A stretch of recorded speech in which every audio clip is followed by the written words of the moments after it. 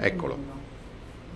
Sorry, ladies and gentlemen, I'm doing my painting tonight. I never have done anything like that. Good evening.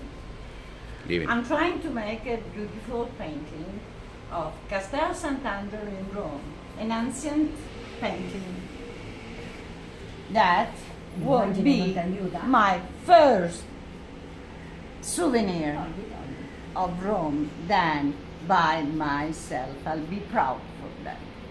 This is Cash and Carry project that I like to present with the master here of design and colors and artist, which is teaching us only in three Luigia. hours.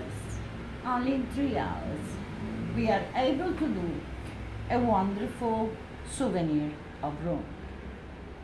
It will be a nice thing to see you in our gallery, which is very elegant, full up of artists and artisans and crafts.